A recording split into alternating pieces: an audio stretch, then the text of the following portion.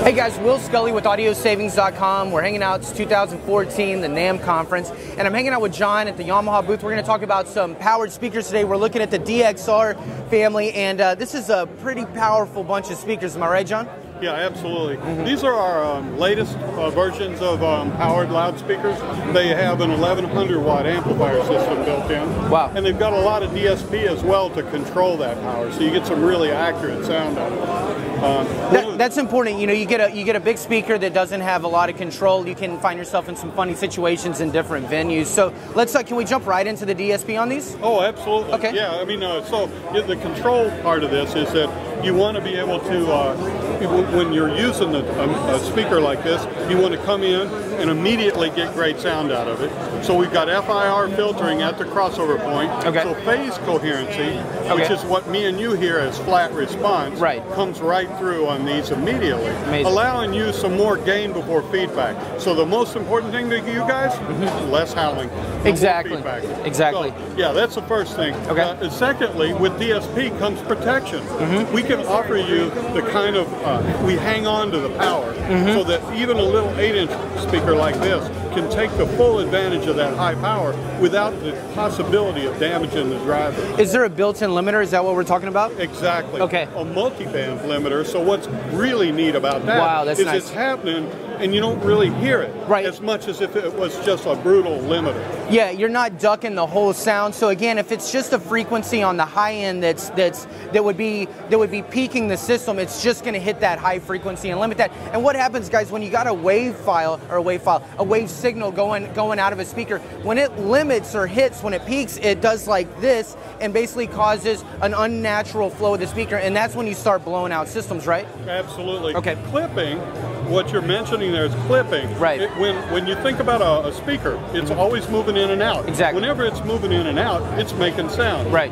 When you're clipping, that's time that the speaker is spending all the way out or all the way in. Right. And only getting hotter. Right. So that's what blows up speakers. Absolutely. Uh, it's the weirdest thing. Customers think high power blows up speakers. Mm-hmm. It's actually low power or mm-hmm. clipping mm-hmm. that does more damage. And we, have all blown out our, our, our own share of speakers. Hey man, you know we're not we're not all perfect. So let's let's look at the back. So it looks like we've got XLR, we've got RCA, quarter inch, and uh, and then you got your in and out, you know, your throughputs as well. Let's just kind of break this down for uh, for our viewers. Oh, absolutely. So on, on, the back panels of all of these, they're all the same for all the models. Okay. Um, you get a mic in and two stereo inputs.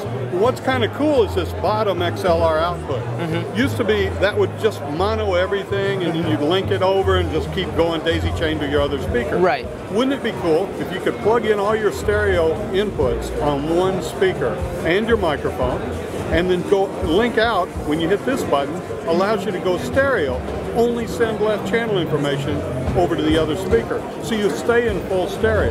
That is absolutely genius. I love that uh, that that functionality to this uh, to this system. And then and then moving on we've got a uh, front led disabled. So you can look here. You, you know if your uh, limits working. That's just going to let you know if you've got a signal coming through. Uh, your protection uh, tell me about that. What's protection? The protection will let you know if something has happened to the speaker. It'll light up to let you know there's an issue you need to, to, to deal with. There's a light right below the protection that mm-hmm. says limit. That's the one you're going to watch that'll that let you know the DSP is actually controlling the, the unit. Also, yeah. if you use the front panel lamp, okay. it glows brighter when the unit's in limiting to warn you that you're in limiting. You are near the maximum output of the speaker. Wow, what a, what a smart uh, smart reason. I can think of a hundred reasons why, why that would just be extremely handy and important. So man, you guys are really paving the way with these things. Now let's uh, let's just talk about wattage real quick because we have just to go through them. We got the uh, DXR 8s. What else we got? Oh, there's the 8, the DXR 10, okay, the DXR 12, and then finally the DXR 15. Okay, we have a full family of those, and then there's two subwoofers as well. So there's a DXS 12 sub okay. and a DXS 15 sub. Okay. And they're both real compact so that we could get them into a smaller uh, vehicle so you oh. can get in and out easy. Absolutely. Those subwoofers can get kind of overbearing sometimes. You know how that goes. And they are compact. This thing's, uh, wow, I mean, it's it's not that wide at all. I, I would imagine that the, the, woofer sits like this in there. Yeah, actually, the woofer is sitting the, uh, in the conventional way. Okay. This is a bandpass design speaker, so it's actually, you can see the woofer behind the uh, grill. But, okay. The nice thing about this is I can put all that in two DXR10s in my my little compact car. Okay. No problem in the back seat. Cool, and then uh, you know maybe maybe something that's a given, but you know just for our viewers as well. When you run to the subs, it's going to automatically filter off the low frequencies when going to your tops. Is that correct? Yeah, absolutely. What um, what he's mentioning here is uh, what we call crossing over. Yeah. You want to divide your frequencies so that you know your woofer's doing the hard work for you on Right. that low end, but it lets your your front speakers have that the high. It, it lets them scream. E- Exactly, and all you need to do is the switch that's on the top box, set that at your high pass or let the highs through, and then of course your subwoofer has low pass, which is let your lows through. Set the two switches, you're done.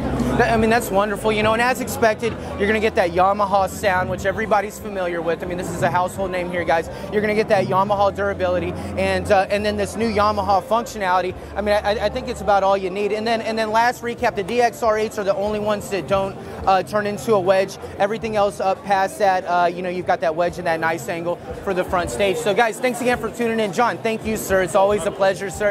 And uh, my name's Will Sculley. Make sure to find your Yamahas at audiosavings.com.